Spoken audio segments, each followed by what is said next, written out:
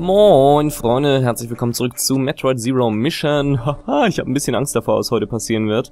Denn beim letzten Mal sind wir durch Chosodia ein bisschen durchgereilt, haben hier die hm, Choso-Ruinen gefunden. Das ist, glaube ich, dieses große grüne Areal, das hier um uns herum freigelegt wurde.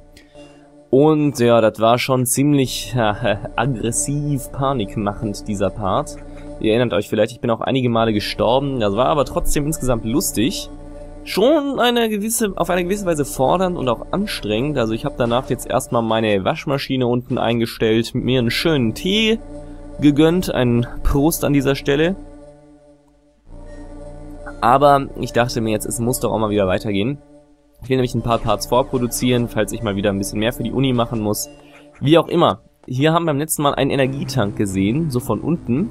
Und der ist hier hinter dieser Tür gewesen. Aber wenn wir jetzt gucken, dieser Typ, dieser der Halter von seinem Energietank, das ist doch auch sein Penis. Da kannst du mir nichts erzählen. Wie der da guckt, ne? Wieso ist mir das beim letzten Mal eigentlich nicht aufgefallen? Man weiß es nicht. Und da auf seinem Penis oben drauf war letztes Mal ein Energietank. Und der ist jetzt irgendwie verschwunden. Und ich weiß nicht, Samus, die ist ja so eine Weltraumjägerin. Ich glaube, ich kann mir die Theorie ganz gut zusammenreimen. Eine Kopfgeldjägerin, die war sehr lange Zeit jetzt unterwegs und die will jetzt einfach mal auf seinen Penis drauf. Da passiert ja gar nichts. Wie lame ist das denn? Wo ist der Energietank? Der wurde da einfach weggenommen. Da oben. Der Arsch, ne? Seht das? Der hat den geklaut. Der hat den sich vom Penis dieser Statue weggegrapscht. Und jetzt will Samus hinterher, weil sowas Geiles, was am Penis von so einer Statue geklebt hat, will ja im Prinzip jeder haben. Ja, damit können wir jetzt auch mit den witzigen Penisvergleichen aufhören, Scully. Das ist so unreif. Ich hasse Scully. Oh Gott. Bitte, du, du kommst doch nicht höher. Ich dachte schon, wenn das Auge links jetzt höher gekommen wäre, dann wäre gleich wieder Alarm. Kommen ja drei Feuerwehrmänner rein und meinen, hier Unheil stiften zu müssen. Äh, stopp bitte. Boah. Das ist immer so ein bisschen doof, wenn man nicht weiß, wann diese Augen aufhören. Ihr kennt das ja sicher. Alarm mit den Feuerwehrmännern. Ja, die Uniform. Nein! Ich wollte nicht. Aber hier kommt bestimmt kein Pirat hin. Die sehen mich doch gar nicht. Die wissen gar nicht, dass ich hier bin. Hier kommt tatsächlich kein Pirat. Ich bin überrascht. Ich hätte jetzt eigentlich erwartet, dass hier jetzt gleich einer kommt und mir aufs Maul hauen will. Wie lange braucht das denn jetzt hier, bis die mal merken, hier ist gar niemand? Da, da, da, da, da, da, da, da, da. Das scheint wohl so nicht zu funktionieren. Ach, jetzt kommt einer und hat mich doch entdeckt. Aua! Aber einen kriegen... Ah, nee, also, da kommt schon der nächste. Nein, das wird nichts, wir sind jetzt gleich wieder tot. Das kennen wir ja schon aus diesem Spiel. Nein, lass mich. Vielleicht schaffe ich es ja doch. Nein, ich schaffe das garantiert nicht. Jetzt muss ich hier durchkrabbeln. Da kommt schon der nächste an. Nein, also egal wie schnell Samus rennen... Oh, die haben sich gegenseitig umgeschossen. Ich wusste gar nicht, dass ich so... Och, nö. Das ist ja jetzt frech. Da brauche ich jetzt die Screw Attack, die ich natürlich jetzt nicht gerade dabei habe. Das könnt ihr ja auch nicht von mir verlangen. Ich meine, ich habe gar keinen Anzug. Wie soll ich denn jetzt hier eine Screw Attack durchführen? Aua! Boah, das war ja frech. In die, ins Loch reingeschossen, wo Samus gerade noch am Durchkrabbeln war. Das fand ich gemein. Aber gut, ich hatte ja schon in dem Moment, in dem ich von diesem Auge erfasst wurde, gesagt, dass ich vermutlich diesen, diese Konfrontation nicht überstehen werde. Penis. Äh, und deswegen werden wir das jetzt einfach nochmal probieren. Ey Leute, diese Statue, die da sitzt, die sieht voll rallig aus, ne? Die guckt da so geil in die Mitte des Bildschirms hier. Moin, Chef. Hast du schon mal meinen Presenter gesehen? Der ist genauso dick wie mein Kopf. Ich weiß, dass das jetzt nicht gerade niveauvoll ist, aber das habe ich auch, diesen Anspruch habe ich auch nie erhoben und das ist gerade irgendwie so blöd und so, das, kann gar nichts anderes sein, Leute. Ihr könnt mir doch nicht weismachen, dass das kein Penis ist. Schniepe. Ja, ich habe nichts getrunken. Ich habe ein bisschen was getrunken, aber das spielt jetzt dafür keine Rolle. Das hätte ich auch nüchtern vielleicht noch wahrgenommen. Ja, da kann ich jetzt eine schöne Geschichte zu erzählen. Ich habe nämlich vorhin im Kaufpark hier um die Ecke habe ich eine interessante Entdeckung gemacht, nämlich Havana Club, also diesen Rum, mit Cola in einer Dose. Ja, schlecht war es nicht, ist natürlich nicht so geil wie beispielsweise hat... Das ist eine Scheißstelle hier, das möchte ich an dieser Stelle aber nur mal festhalten, ne, weil man man kann hier nur mit sehr viel Schwierigkeiten überhaupt gescheit springen. Renn, Bitch, run! Scheiß auf den hier. Renn einfach weiter. Aua! Ja, ich kann mir vorstellen, dass das wehtut, wenn so ein Senkel da ankommt und meint, dir auf die Fresse hauen zu müssen. Und wieso machst du eigentlich immer so einen komischen Sprung, in dem du deine Brust, Brüste rausschiebst, wenn du stirbst, Samus? Ich weiß es nicht. Der Part geht genauso weiter wie der letzte. Wie lange soll diese Panikmache noch gehen? Die ist ja irgendwo cool, aber Penis, aber ähm, irgendwie will ich auch langsam mal wieder zurück zum richtigen Metroid-Spiel gelangen, ne? Ich glaube, wenn ich dieses Item von diesem fiesen, frechen Pirätchen da bekommen habe, dann ist das schon ein Weg in die richtige Richtung.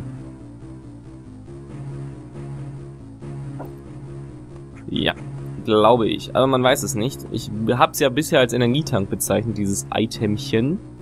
Ja, man muss immer in der Verniedlichungsform sprechen. Das ist so Grundsatz Nummer 7. Aber es kann natürlich auch gar sein, dass das gar kein Energietank ist. Du kriegst mich niemals, du freches Auge. Vorher kann ich die eigentlich nicht einfach abschießen. Na, ich würde es nicht riskieren. Es besteht immer das Potenzial. Jetzt komm schon. Ja. Ah, da kommt er. Da ist er. Du kennst Samus, dein Pferdeschwanz ist viel zu verräterisch. Jetzt ruff rum rein. Hier sind Varell. Oh Gott. Oh Gott. Oh, nein, sie haben mich. Oh Gott, das ist ja eine schlimme Stelle, selbst dann, wenn man nicht erwischt wurde vorher. Scheiße. Ach. Ich hätte gedacht, dass ich den Sprung schaffe, aber der war zu hoch für mich, keine Frage. Oh Gott. Aber wir krabbeln irgendwie witzigerweise alle gleich schnell. Scheiße, das war keine gute Idee, in die Richtung zu krabbeln. Renn, Samus. Da hoch. Weiter, weiter, weiter. Rennen. Wieso ist der jetzt schon da? Das ist doch frech. Der hat doch gecheatet. Äh, ja, ja, Junmuru Amoroso. Rauf. Nein, nicht wieder runter, Samus. Rauf, habe ich gesagt. Oh Gott. Äh. Oh, das ist hier Adrenalin pur. Ja, toll. Und jetzt bin ich wieder durchgepeitscht. Jetzt muss ich wieder hier zurück. Ey, ich weiß gerade nicht, wie ich hier irgendwie diesem dieser Konfrontation auf gute Weise entrinnen kann. Ja, die Richtung kommt mir irgendwie falsch vor. Ja, ich dachte es mir schon. Ja, das klappt nicht. Ja, das war's wieder. Man muss hier wirklich komplett ungesehen durch, glaube ich. Alles andere ist unmöglich. Das ist für so ein 2D-Spiel, ne, ist das verdammt gut umgesetzt. Das möchte ich an dieser Stelle nur einmal festhalten. Also, ich kenne ja viele dreidimensionale Spiele mit, naja, die müssen nicht zwangsweise Penis gute Grafiken haben, aber ähm, die sind schon meistens etwas atmosphärischer so in 3D, aber das hier ist ein 2D-Spiel, das einem richtig Panik machen kann. Und zwar jetzt nicht, weil das so gruselig ist, ich meine, man stirbt halt und fertig, aber man ist halt angespannt, weil man diesen Viechern ausweichen will. Die Musik trägt da auch sehr viel zu bei, also das ist schon ziemlich gut gemacht mit dieser Stelle einfach nur mal behaupten. Zack, zack, zack, zack. Äh, das Auge hier, das bewegt sich jetzt nach unten. Jo, also ich habe, wie gesagt, ja, um das Thema mal kurz noch abzuschließen, vorhin im Kaufpark so eine geile Havana Club Cola Dose gefunden. 033. Äh, es rentiert sich so ein bisschen, ne? Habe ich jetzt mal so umgerechnet.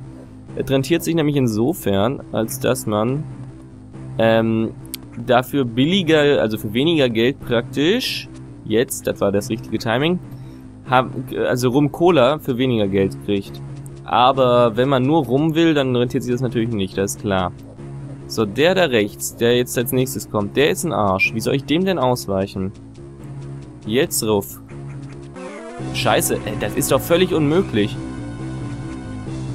Also das leuchtet mir gerade nicht ein, wie ich diese Ausweichma dieses Ausweichmanöver da machen soll. Alles andere ist ja ganz cool, aber dieses Ausweichmanöver ist mir ein bisschen schleierhaft.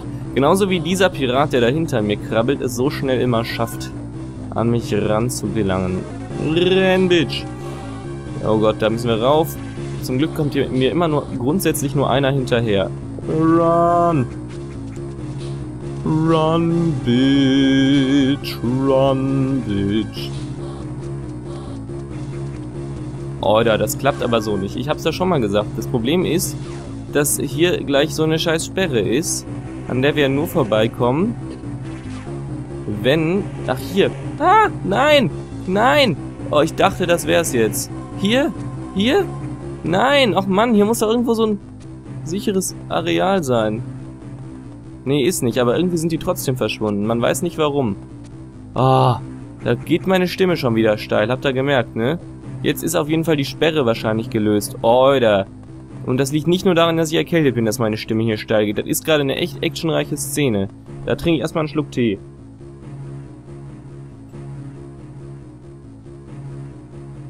Wer hätte gedacht, dass Metroid so heftig sein kann? Ja gut, ich kenne Metroid Prime, das ist teilweise auch echt heftig, aber das hier finde ich schon krass gerade, was hier passiert. Finde ich auch so gut, habe ich es bis jetzt noch in keinem Metroid-Spiel umgesetzt gesehen. Das ist natürlich auch nicht unbedingt Metroid, was hier gerade abgeht, aber da ist verdammt geil. Leute, könnt ihr mir nicht absprechen. Wenn es euch nicht gefällt, was ist hier? Hier hat jemand eindeutig den Wasserhahn angelassen. Da ist irgendwas ganz schief gelaufen. Und jetzt bin ich wieder der Durchgepatsche wahrscheinlich, ne? Oder? Ah, Was ist hier los? Irgendwelche alten Choso-Artefakte sehe ich. Und jetzt? Ach, das ist Samus Kindheit. Die erinnert sich hier daran, wahrscheinlich, weil sie hier aufgewachsen ist. Das ist die kleine Samus. Ach, ist sie nicht niedlich hier? Oh, ihre vollen roten Lippen. Und jetzt auf einmal so ganz böse, hier im pausbäckig böse reingeguckt. Okay, was sollte jetzt dieser kurze Einblick? Ach, da gibt's irgendwas durch eine mystische Choso-Magie. Und was?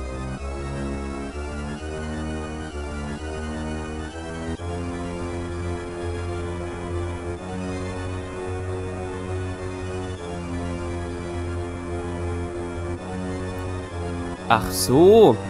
Ich muss mich bewegen. Hä? Muss ich die angreifen? Nee, hä? ich raff's gerade nicht, Freunde. Was ist hier gerade los?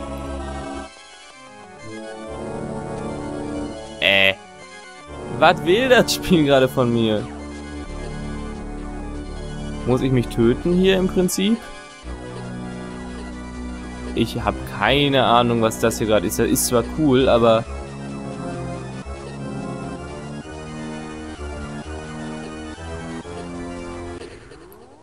Ja, aber so sterbt doch ich.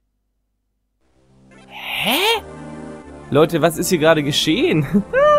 Ich bin völlig ratlos gerade, Leute. Das ist mir jetzt gerade aber... Ist das Spiel gut? Da ist wirklich... Also... Jeder, der dieses Spiel als Remake des Originalspiels bezeichnet, der lügt. Ja, können wir die Cutscene irgendwie überspringen? Ja. Aber wie... Was? Hä?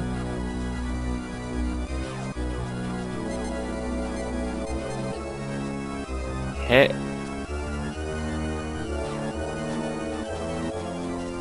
Was ist hier los? Also müssen wir wieder... Wir müssen ja wahrscheinlich irgendwie offenbar diese Samus da drin töten. Aber ich meine, das ist erstens nur, nicht nur sehr, sehr unfreundlich, wenn man drüber nachdenkt. Aber offensichtlich passiert da auch noch mehr. Denn jetzt gleich kommt wahrscheinlich wieder genau dieser Mist hier. Aber wir dürfen nicht sie töten. Wir dürfen sie nicht töten, sonst sterben wir. Okay, okay. Leuchtet ein. Wir dürfen sie nicht töten, aber wir müssen sie offenbar verwunden, damit wir diese andere Sequenz lösen können, indem da auf einmal der Typ anfängt rumzuflattern. Ja, das ist schon mal soweit logisch. Okay, neuer Versuch. Wir dürfen sie nicht töten, aber wir müssen sie schwächen, scheint's. Okay, los geht's. Senkelparty, dingelingeling, alle Radi sing. Senkelparty, dingelingeling, alle Radi sing. Ja, irgendwie ist die Szene ein bisschen komisch, möchte ich an dieser Stelle einfach mal behaupten. Batz. Bang! Aua! In deine Fresse. Und jetzt fängt er an zu fliegen, oder was? Nee. Jetzt? Hey, wieso ist er jetzt... Ich raff grad nicht, was das Spiel von mir will, Leute. Also, da können er mir jetzt viel erzählen. Ich meine, ich versuch's jetzt noch einmal, dann beende ich den Part. Der ist auch schon bei 15 Minuten wieder angelangt, aber ich bin gerade echt deutlich überfragt. Ihr müsst mir jetzt auch keine Tipps hier drunter schreiben. Ich werde das schon irgendwie hinkriegen und zur Not schaue ich jetzt nach, aber ich meine, ich, mein, ich mache jetzt eine lange Metroid-Aufnahme, deswegen bringt das jetzt nichts, wenn ihr mir hier Tipps drunter schreibt. Aber ich raff's einfach gerade nicht. Was hier... Was die hier von mir wollen.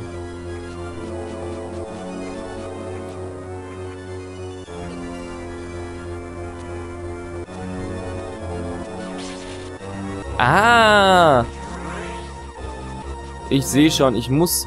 Oh, da, da ist er. Ich muss das Vieh treffen. Au, du Arsch.